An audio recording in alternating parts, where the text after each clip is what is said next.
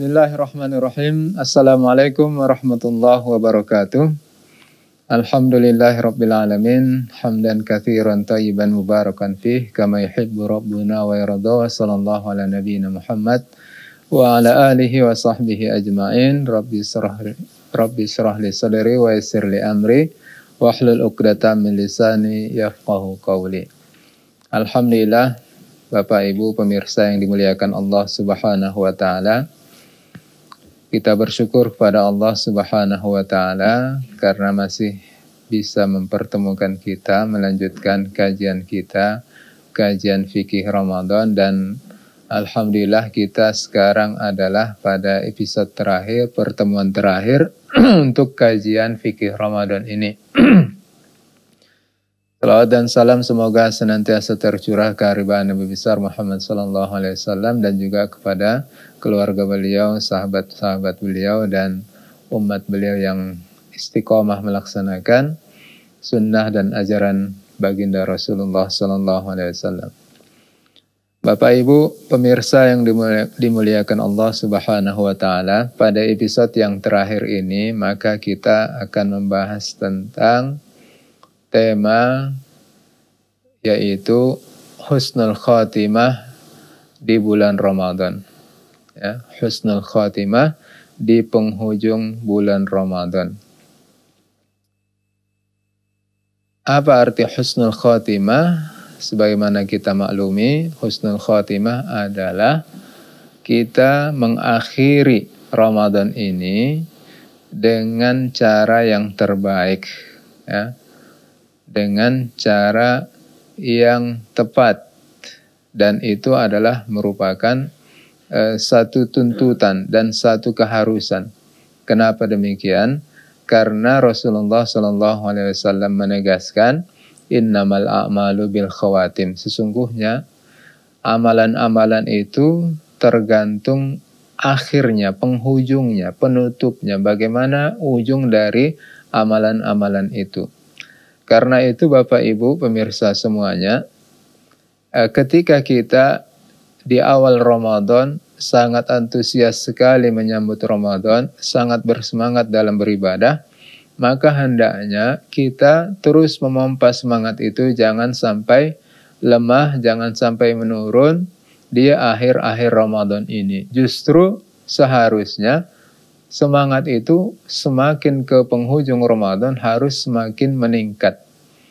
Karena sabda Rasulullah, innamal a'malu bil khawatim. Karena amalan itu tergantung ujungnya, finishnya.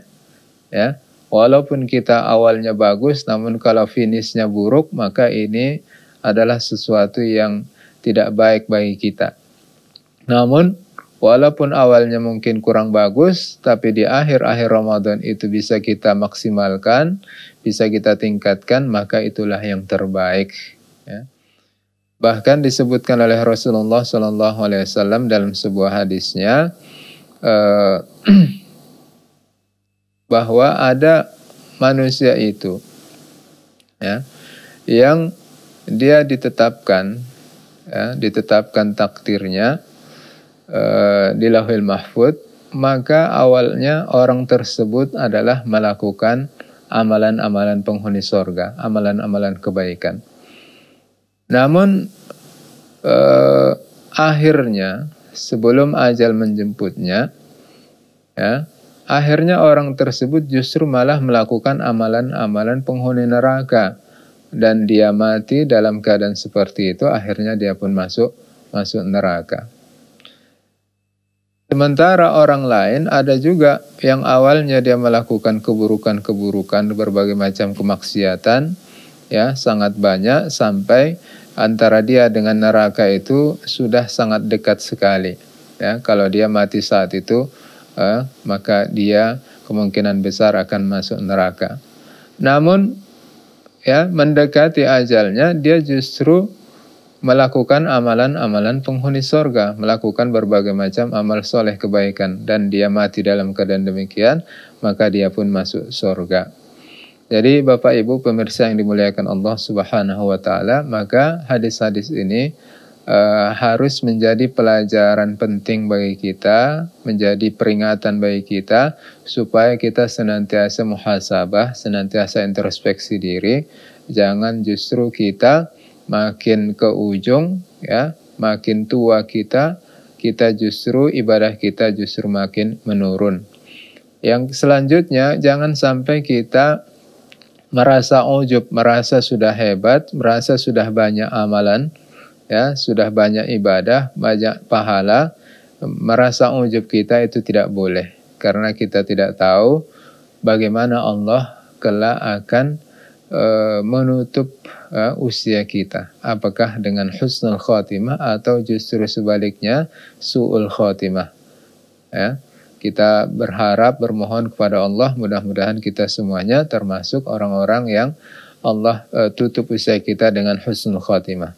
Selanjutnya juga kita hendaklah memperbanyak doa ya kepada Allah Subhanahu wa taala semoga kita semuanya adalah kelak ditutup dengan husnul khatimah. Bapak Ibu pemirsa yang dimuliakan Allah Subhanahu wa taala, di akhir-akhir Ramadan ini di antara hal yang wajib kita lakukan adalah membayar zakat fitrah. Membayar zakat fitrah. Siapa yang wajib membayar, siapa yang terkena kewajiban zakat fitrah itu? Yang terkena kewajiban zakat fitrah itu adalah orang muslim, ya. Orang muslim ya yang kemudian uh, dia masih hidup saat Ramadan dan uh, sesudah uh, dan sampai berakhir Ramadan. Ya, muslim dan dia masih hidup ya. Uh, ketika matahari terbenam uh, matahari terbenam di malam uh, lebaran. Masih hidup artinya uh, orang yang sudah wafat uh, ketika uh, sebelum berakhir Ramadan maka dia tidak wajib membayar zakat fitrah. Dan tentu yang membayar zakat fitrah uh, adalah ya uh, dalam sebuah keluarga adalah orang yang bertanggung jawab terhadap nafkah keluarga tersebut ya di situ ada uh, suami dia berkewajiban membayar zakat fitrah untuk anak dan istrinya dan kewajiban zakat fitrah ini adalah berdasarkan hadis Rasulullah Wasallam.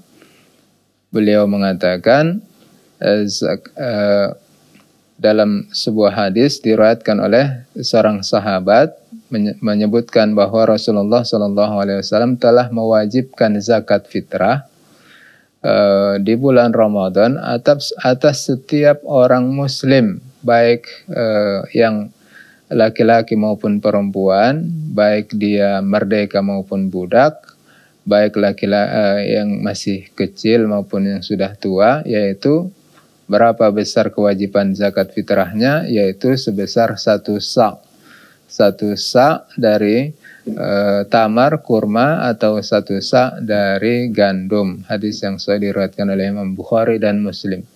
Jadi satu sa' itu adalah ukuran takaran empat mut. Empat mut itu adalah seukuran satu uh, uh, satu genggam ya, segenggam uh, dengan dua tangan seperti ini. Inilah satu mut. Empat inilah dia satu sa'. Itulah ukuran uh, zakat fitrah yang harus dikeluarkan, harus dibayarkan oleh setiap orang uh, Muslim. Jadi tidak pakai timbangan, tidak pakai timbangan. Karena itu kita dapati ada perbedaan pendapat di kalangan ulama terkait berapa sebenarnya berat ya berat eh, zakat fitrah yang harus dikeluarkan. Ada yang mengatakan sekitar 2 kilo setengah, ada yang mengatakan 2,7, ada yang mengatakan 3 kilo. Kalau kita mau mengambil yang lebih selamat tentunya kita ambil yang yang lebih banyak 3 kilo kalaupun itu adalah berlebih itu bisa dianggap sebagai sedekah. Taib, uh, zakat fitrah ini uh, diserahkan khusus untuk orang fakir miskin. Ya, zakat fitrah itu khusus untuk orang fakir miskin diserahkan kepada mereka. Kenapa? Karena hikmah dari pembayaran zakat fitrah ini adalah uh, untuk uh, memberi makan ya, untuk memberi makan orang fakir miskin pada hari lebaran, pada hari rayanya umat Islam supaya semua umat bergembira pada hari lebaran tersebut. Bagaimana dikatakan hari lebaran, hari raya, sementara ada orang yang tidak senang, tidak bersuka cita. Karena itu diwajibkan kita semuanya. Siapa mereka yang diwajibkan? Yaitu muslim dan dia masih hidup eh, di dua waktu, yaitu Ramadan dan sampai eh, berakhir Ramadan. Dan mereka yang memiliki makanan pada malam lebaran dan pada siang lebarannya. Pada malam satu syawal dan pada siang satu syawal mereka kalau ada makanan maka mereka juga wajib membayar zakat. Jadi itu dia uh, tentang hikmahnya. Uh, pertama tadi hikmahnya adalah untuk memberikan ya uh, memberikan semangat dan juga memberikan kegembiraan untuk orang fakir miskin. Yang kedua juga adalah untuk membersihkan puasa kita dari eh, kekurangan-kekurangan, dari aib-aib puasa yang sudah kita lakukan. Ta'matan lil masakin wa tuhrotan lis Ya, untuk memberi makan orang fakir miskin dan juga untuk membersihkan puasa yang sudah kita lakukan. Karena puasa itu uh, uh, tentu adalah amal soleh yang Allah terima ketika amal soleh itu betul-betul baik. Ya, Inna Allah taib la yakbal illa taiban. Allah itu tidak akan menerima kecuali yang baik. Karena itu puasa kita yang eh, sana sini masih ada cacatnya, maka dengan pembayaran zakat fitrah, maka itu insya Allah bisa tertutupi. Kemudian tentang ukurannya tadi itu adalah satu sa, satu sa itu adalah sekitar uh, kilo setengah atau 2,7 atau 3 kilo. Tinggal kita pilih mana yang kita rasa lebih pas. Uh, kemudian tentang apa yang dibayarkan, uh, dalam hadis disebutkan yang dibayarkan adalah makanan pokok ya, kurma, gandum. Kalau di kita itu beras ya. Namun ada juga ulama yang fatwakan boleh di alihkan dengan uang. Ya, wallahu alam. Tinggal kita min, uh, pilih mana yang terbaik. Kalaupun dengan beras silahkan, itu yang asalnya seperti itu. Kalaupun kita rasa uang yang terbaik lebih maslahat untuk orang uh, fakir miskin dan uh, lebih mudah mereka rasa dan itu lebih uh, diterima oleh orang fakir miskin. Wallahu alam itu juga pendapat yang kita rasa tidak salah. Baik, uh, demikian Bapak Ibu pemirsa yang dimuliakan Allah Subhanahu wa taala uh, tentang uh, zakat fitrah yang sebelumnya tadi juga uh, juga kita jelaskan tentang pentingnya kita mengakhiri uh, Ramadan ini dengan cara yang terbaik husnul khotimah dan uh, dan uh, kita husnul khotimah di bulan Ramadan ini Eh, dengan melaksanakan amalan-amalan yang terbaik. Di antaranya adalah membayar zakat fitrah. Dan selanjutnya kita juga akan sesudah ya sesudah uh, selesai Ramadan pada tanggal 1 Syawal paginya itu kita ada juga disunnahkan untuk melaksanakan sholat id berjamaah bagaimana hukum sholat id dan tentang tata caranya, insya Allah akan kita lanjutkan sesudah pesan-pesan berikut ini.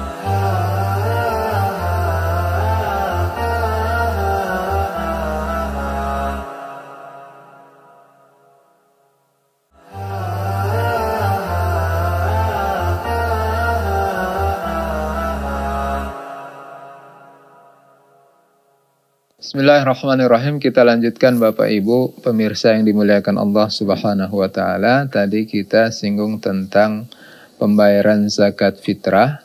Selanjutnya di akhir-akhir Ramadan ini juga eh, kita perlu menjelaskan tentang hukum sholat id yang akan dilaksanakan pada pagi hari tanggal 1 Syawal. Pertama tentang hukum melaksanakan sholat id. Sholat id itu ulama berbeda pendapat. Ada yang mengatakan itu adalah fardu kifayah. Ada yang mengatakan itu adalah sunnah muakkadah. Dan pendapat jumhur mengatakan sholat id itu adalah sunnah muakkadah. Dan inilah pendapat yang kuat. Wallahu alam. Walaupun itu sunnah muakkadah, maka eh, jangan kita menyepelekan uh, sholat id ini uh, karena kita mengetahui bagaimana Rasulullah Shallallahu Alaihi Wasallam dan para sahabat salafus soleh sangat antusias melaksanakan sholat id. Bahkan Rasulullah Shallallahu Alaihi Wasallam uh, sangat memotivasi umat Islam untuk melaksanakan sholat id. Bahkan wanita-wanita ya diperintahkan oleh Rasulullah Shallallahu Alaihi Wasallam untuk menghadiri sholat id, untuk mengikuti sholat id, ya. Termasuk yang mereka memiliki udur syar'i untuk uh, sholat, ya. Tetap di, uh, diperintahkan dan dimotivasi oleh Rasulullah untuk menghadiri uh, datang ke tempat sholat id. Minimal apa? Mereka mem, uh, uh, minimal mereka uh, menyimak uh, khutbah sholat id dan itu kehadiran mereka itu menunjukkan syiar Islam ya. Jadi ini menunjukkan tentang keutamaan melaksanakan sholat id. Uh, selanjutnya tentang waktu sholat id, ya, sholat idul fitri itu waktunya adalah semenjak ya semenjak uh, matahari itu sudah naik ya sudah naik uh, kira-kira sudah melewati waktu haram, ya, waktu haram sholat sunnah, yaitu uh, sekitar matahari itu naik sepenggalan istilahnya. Jadi kalau kita punya tombak itu ditancapkan depan kita, jadi um, matahari dengan uh, mata kita itu sudah kira-kira uh, se uh, setentang dia, kira-kira uh, sudah satu garis. Ya. Kira-kira kalau uh, kita di daerah uh, daerah uh, Medan sekitarnya kurang lebih uh, pukul 7 ya, kira-kira jam 7 pagi atau jam 7 kurang 15 menit itu sudah mulai bisa mendirikan waktu uh, sholat id sampai waktunya menjelang ya menjelang sholat zuhur menjelang uh, sholat zuhur uh, itu masih bisa waktu uh, sholat id. Ya, kira-kira belum memasuki waktu yang diharamkan.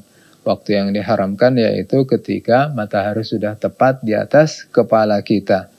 Ya, matahari tepat di atas kepala kita itu adalah waktu yang diharamkan kita melakukan sholat sunnah.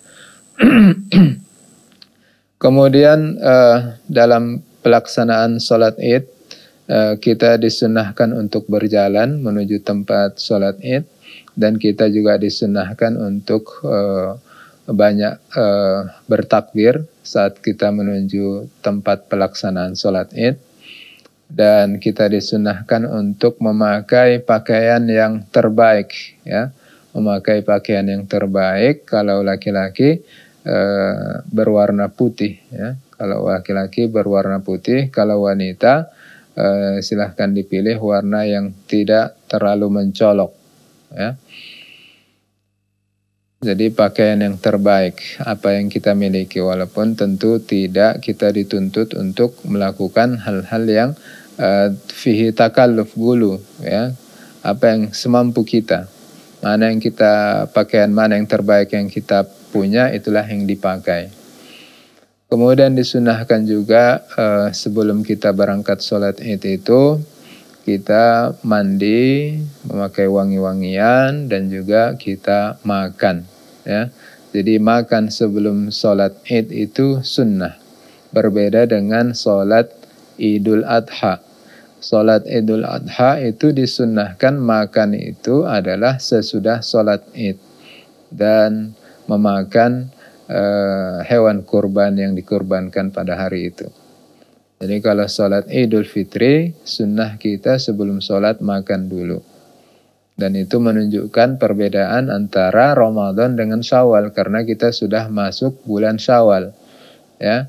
Kalau kalau Ramadan kita paginya belum uh, paginya itu tidak boleh makan karena berpuasa, maka begitu Syawal kita uh, disunnahkan makan sebelum sholat dan salah satu keistimewaan tanggal 1 Syawal ini adalah kita diharamkan berpuasa. Tidak boleh kita puasa pada tanggal 1 Syawal. Demikian juga pada uh, Idul Adha kita diharamkan berpuasa. Kemudian uh, takbir itu disunahkan dari semenjak uh, terbenam matahari malam Lebaran sampai uh, sampai imam uh, memulai sholatnya. Ya, sampai imam memulai sholatnya selesailah sunnah takbir. Ya. Adapun Idul Adha maka takbirnya itu lebih panjang dari takbir Idul Fitri. Ya, lebih banyak takbiran di uh, Lebaran kurban ya hari raya kurban. Sementara Idul Fitri sunnah takbiran hanya dari sejak terbenam matahari malam Lebaran sampai imam memulai sholatnya. Kemudian uh, dalam pelaksanaan sholat id itu tidak ada azan dan tidak ada iqamah ya.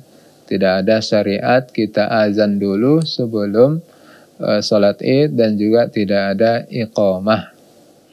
Kemudian uh, disunnahkan kita ya uh, bagi disunnahkan bagi imam sesudah membaca surat Al-Fatihah di rakaat yang pertama membaca surat Al-A'la ya membaca surat Al-A'la dan Eh, pada rakaat yang kedua membaca surat Al-Ghasyiyah. Uh, dan ada juga pilihan yang lain yaitu sesudah uh, pada rakaat pertama sudah baca surat Al-Fatihah, imam membaca surat Qaf dan pada rakaat yang kedua sesudah Fatihah imam membaca surat Al-Qamar. Kemudian uh, Salat Id ini di antara keistimewaannya kita di rakaat pertama sebelum baca Fatihah kita disunahkan bertakbir sebanyak tujuh kali selain takbiratul ihram. Ya, kita membaca uh, antara masing-masing takbir itu uh, zikir dan tasbih dan tahmid. Kemudian uh, pada rakaat yang kedua sesudah takbir takbir kiam berdiri kita disunahkan sebelum Fatihah membaca e, bertakbir lima kali ya bertakbir lima kali para ulama berbeda pendapat apakah sambil mengangkat tangan atau tanpa mengangkat tangan. Wallahu alam yang sunnah adalah dengan mengangkat tangan sambil bertakbir. Kemudian uh, jika bertemu antara uh, sholat Id dengan sholat Jumat, kebetulan uh, hari Lebaran itu, hari raya tanggal 1 Syawal itu kebetulan adalah hari Jumat, maka orang yang sudah ya para makmum terutama yang sudah uh, ikut dengan imam sholat Id, maka mereka tidak wajib lagi mereka ikut sholat Jumat. Adapun imam maka tetap diwajibkan untuk mendirikan sholat Jumat pada hari itu karena kemungkinan ada orang yang tidak ikut sholat id maka dia bisa melakukan e, melakukan kewajibannya untuk sholat Jumat.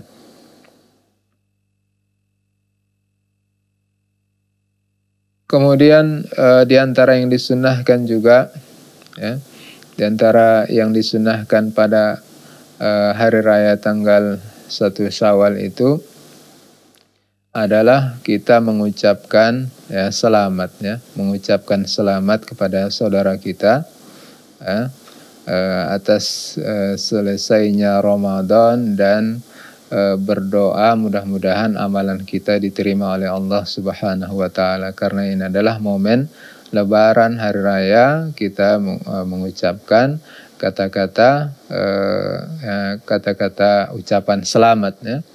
Eh, seperti kita ucapkan eh, taqabbalallah minna wa minkum ya. Taqabbalallah minna wa minkum atau doa-doa yang lain yang menunjukkan eh, kata-kata ucapan-ucapan selamat dan doa semoga amalan kita diterima oleh Allah Subhanahu wa taala.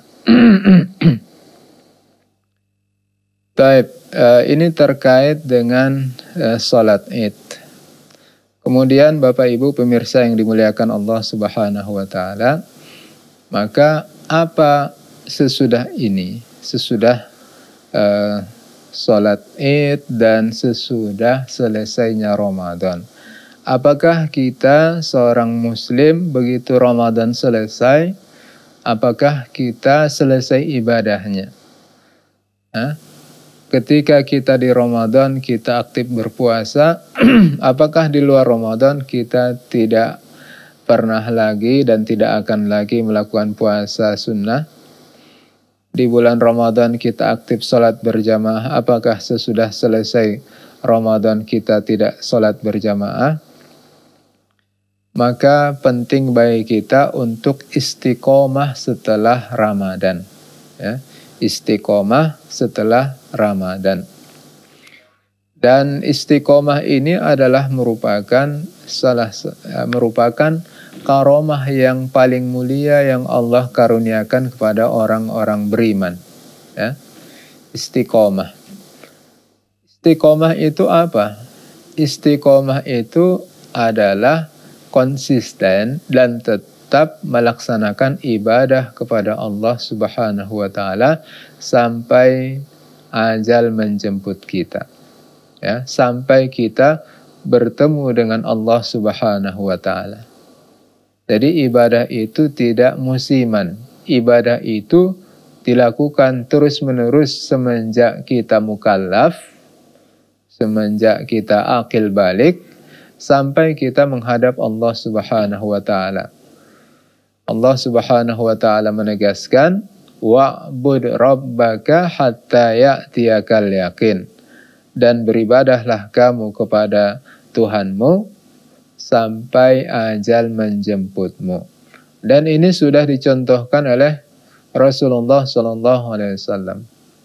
Ya, bagaimanapun sakit beliau, berapa berat pun penderitaan yang beliau rasakan, beliau tetap beribadah kepada Allah. Beliau tetap sholat.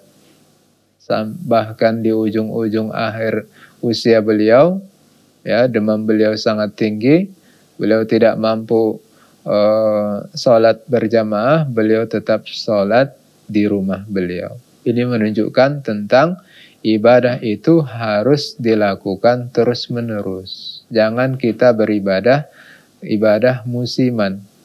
Seolah-olah ibadah itu hanya di Ramadan saja. Ini adalah keyakinan yang salah. Ya, keyakinan yang salah. Seolah-olah sesudah Ramadan tidak wajib lagi beribadah. Seolah-olah dengan kita beribadah di Ramadan, Allah ampuni dosa kita, maka begitu selesai Ramadan, selesailah ibadah karena Allah sudah mengampuni kita semuanya, maka ini adalah keyakinan yang salah. Bapak Ibu yang dimuliakan Allah Subhanahu wa taala, uh, jangan ke mana-mana dahulu. Pembahasan ini masih kita lanjutkan sesudah pesan-pesan berikut ini.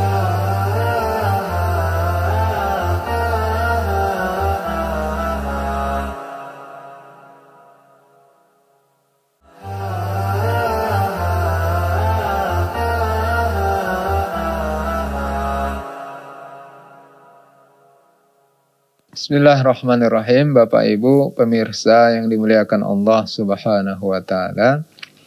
Istiqomah setelah Ramadan. Apa itu istiqomah? Istiqomah adalah kita tetap konsisten beribadah kepada Allah Subhanahu wa taala semenjak kita mukallaf sampai kita berakhir usia kita sampai kita menghadap Allah Subhanahu wa taala.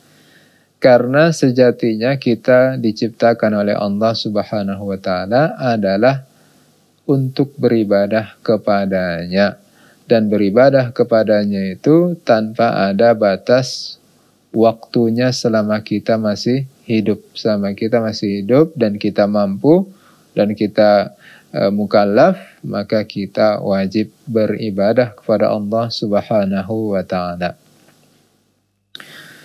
Dan ini adalah merupakan istiqomah ini adalah merupakan uh, karomah kemuliaan yang paling mulia yang Allah berikan uh, kepada orang-orang beriman. Dalam sebuah hadis yang sahih, uh, seorang sahabat ya, bertanya kepada Rasulullah Sallallahu Alaihi Wasallam, Uh, ya Rasulullah kulli fil Islam qawlan la as'alu anhu ahadan ba'daka.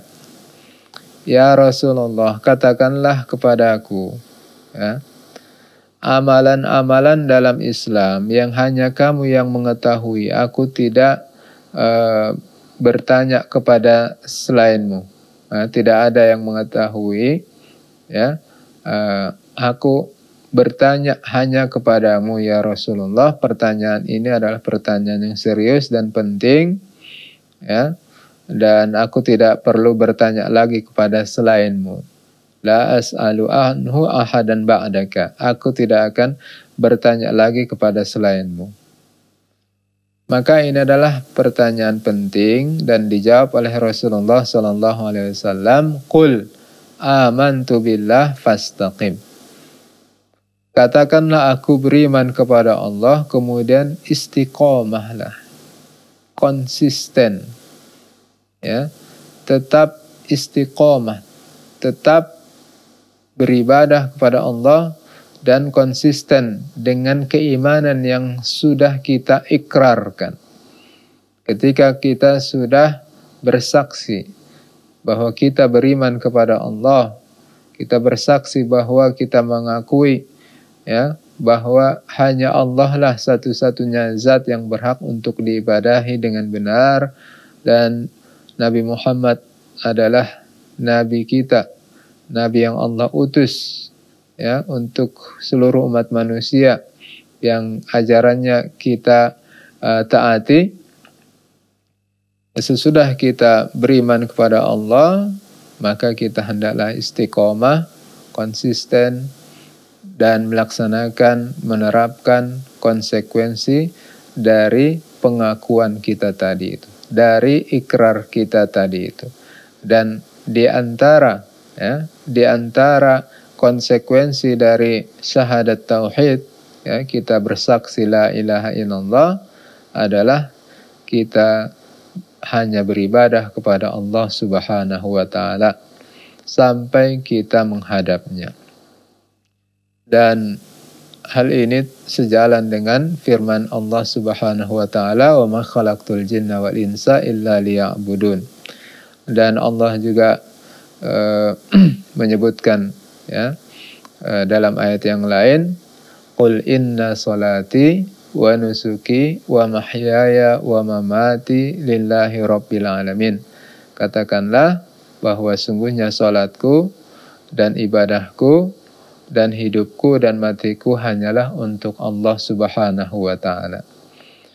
Jadi tidak ada ibadah musiman. Habis Ramadan kita tetap sholat, kita tetap bisa berpuasa, kita tetap berzikir, kita tetap membaca Al-Quran, kita tetap beristighfar, kita tetap bersedekah, membantu orang lain, berdakwah, dan amalan-amalan soleh yang lain jangan terputus dengan berakhirnya Ramadan. Apalagi uh, kita sudah menjelaskan tadi uh, bahwa uh, amalan hamba itu tergantung finishnya. Jadi finishnya kita itu kapan? Finishnya kita adalah saat kita menghadap Allah Subhanahu wa taala. Bagaimana kita menghadap Allah Subhanahu wa taala? Ya apakah dalam keadaan e, beriman atau kufur? Apakah sedang ber, e, melakukan amal kebaikan atau sedang bermaksiat? Jadi e, karena itu e, jangan putus dalam beribadah. Jangan berhenti beribadah dengan berakhirnya Ramadan. Karena kita masih hidup. Ya, ibadah itu akan terus dituntut selama kita mukallaf, selama kita masih masih hidup ya, terutama sholat ya. Sholat itu tidak ada putus-putusnya. Kita sehat, maka kita melaksanakan sholat sebagaimana idealnya. Kalau kita sakit tidak bisa berdiri, maka kita duduk. Tidak bisa duduk, maka kita berbaring.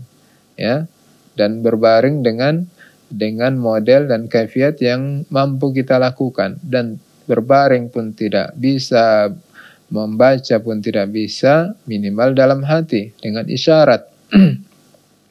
Ya ini menunjukkan bahwa ibadah itu harus terus dilakukan selama kita dihukumi sebagai orang yang mukallaf. Jangan sampai ada di antara kita yang uh, salah paham ya salah paham dalam memahami ayat Allah Subhanahu wa taala wa'bud rabbaka hatta ya'tiyakal yakin.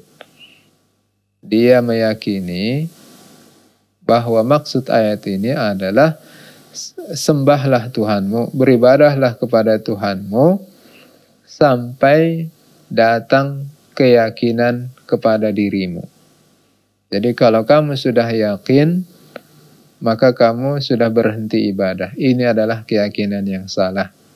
Ada orang uh, yang uh, membuat kategori manusia, membuat level-level manusia, uh, level paling tinggi, uh, makom ma'rifat, makom uh, hakikat, torekot, syariat, dan seterusnya ini adalah pembagian level yang tidak ada dasarnya sama sekali dalam Islam. Ya. Sehingga level-level makom-makom yang mereka buat itu uh, mereka bagi-bagi makom syariat wajib melakukan syariat makom ini uh, harus begini makom itu sudah tidak wajib lagi melakukan syariat sudah beda makomnya beda levelnya ini adalah keyakinan yang tidak pas, tidak benar, tidak diajarkan oleh Rasulullah Sallallahu Alaihi Wasallam. Rasulullah adalah makhluk yang paling mulia, Rasul yang paling mulia. Beliau adalah wali Allah yang paling mulia. Beliau tidak uh, tidak pernah meninggalkan ibadah yang sudah Allah wajibkan kepadanya sampai beliau menghadap Allah Subhanahu wa taala. Kita yang mengaku umat Nabi, kita yang mengaku cinta Nabi, maka siapa lagi yang kita jadikan kudwah contoh kalau bukan Rasulullah Sallallahu Alaihi Wasallam. Ya. Jadi e, ibadah itu harus dilakukan e, berkesinambungan, tidak musiman. Baik. Jadi bagaimana supaya kita bisa istiqomah dengan berakhir berakhirnya Ramadan ini. Ya. Bagaimana supaya kita bisa istiqomah? Ramadan itu adalah bulan perubahan. Ramadan itu adalah madrasah, sekolah yang melatih hidup kita, merubah hidup kita. Yang awalnya tidak baik menjadi baik, yang awalnya eh, kurang ibadah menjadi meningkat ibadahnya.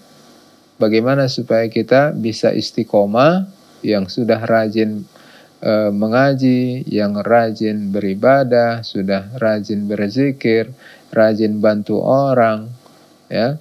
E, sudah omongannya, ahlaknya sudah bagus, bagaimana supaya itu tetap bagus? Bagaimana kita yang di Ramadan kita mampu meninggalkan maksiat, tidak memperturutkan hawa nafsu, yang omongan-omongan kita terjaga, ya jauh dari gibah, namimah, uh, dusta dan lain sebagainya, uh, segala macam kemaksiatan kita mampu meninggalkan di Ramadan. Bagaimana supaya itu terus berlanjut di luar Ramadan? Dan itu adalah merupakan salah satu tanda Allah menerima ibadah kita. Di antara tanda Allah menerima ibadah kita di Ramadan adalah apa yang sudah kita lakukan di Ramadan itu terus berlanjut sampai di luar Ramadan, tidak berhenti dengan ber berakhirnya Ramadan. Jadi di antara kiat supaya kita bisa istiqomah sesudah Ramadan, pertama adalah kita banyak bermohon kepada Allah Subhanahu wa taala. Kita banyak berdoa kepada Allah Subhanahu wa taala karena kita adalah makhluk yang lemah. Karena di tangan Allah lah segala urusan Allah lah yang maha membolak-balikkan hati. Ya, kita berdoa kepada Allah Subhanahu wa taala supaya kita senantiasa dijadikan orang yang istiqomah, supaya ditetapkan hati kita. Ya muqallibal qulub, sabbit qulubana ala dinika wa ta'atika. Wahai zat yang membolak-balikkan hati, tetapkanlah hati kami di atas agamamu dan di atas ketaatan kepadamu. Yang pertama, banyak berdoa kepada Allah. Yang kedua adalah kita tetap istiqomah menuntut ilmu, menuntut ilmu agama, mempelajari agama kita ini. Di Ramadan kita aktif ya, menghadiri majelis taklim, kita aktif mendengarkan tausiah, ceramah para ustadz, ya, dan bertambah ilmu kita, meningkat keimanan kita, demikian juga sesudah Ramadan. Kita berharap kita tetap istiqomah mempelajari agama kita ini. Semakin dalam kita mempelajari agama kita ini, maka semakin paham kita dan semakin sayang kita kepada agama kita ini. Dan Allah Subhanahu wa taala akan memberikan kebaikan yang banyak kepada orang yang belajar agama. Mayuridillahu bihi khairan difaqihu fid din. Barang siapa yang Allah kehendaki mendapatkan kebaikan, maka Allah pahamkan dia dalam urusan agama. Yang kedua adalah kita uh, memilih teman yang baik, ya. Dengan kita memilih teman yang baik, lingkungan yang baik, maka kita akan uh, terikut dengannya. Karena Rasulullah mengatakan almaru ala khalilihi. Seseorang itu tergantung agama temannya. Falyanzur ahadukum man yukhalil maka hendaklah kalian itu ya memperhatikan siapa teman kalian. Kita harus teliti dalam berteman. Jangan sembarangan dalam berteman. Karena sedikit banyaknya teman itu akan mempengaruhi kita. Jadi kalau kita mau berubah, kalau kita mau tetap istiqomah, maka hendaklah kita gauli, pergauli kawan-kawan yang istiqomah, kawan-kawan orang-orang yang aktif melaksanakan kewajibannya kepada Allah Subhanahu wa taala. Dan yang keempat yang harus kita lakukan adalah kita bermujahadah, kita harus uh, berjuang, kita harus bermujahadah, berijtihad. Kita harus bersungguh-sungguh, kita harus bekerja keras dalam beribadah kepada Allah Subhanahu wa taala. Walladzina jahadu fina lanahdiyannahum subulana dan orang-orang yang bermujahadah di jalan kami sungguh kami akan uh, tunjukkan jalannya kepada kepada mereka. Jadi empat hal ini kita, kalau kita lakukan banyak berdoa kepada Allah, istiqomah kita menuntut ilmu dan kita mencari teman yang yang baik dan kita juga bermujahadah dalam beramal soleh, maka insya Allah kita akan bisa istiqomah. Demikian Bapak Ibu pemirsa yang dimuliakan Allah Subhanahu wa taala. Uh, lebih dan kurang mohon maaf. Dan uh, mudah-mudahan ini bermanfaat khususnya untuk kami pribadi dan untuk segenap kaum muslimin. Demikian wassalamualaikum ala nabiyina Muhammad wa ala alihi wa sahbihi ajmain. Wassalamualaikum warahmatullahi wabarakatuh.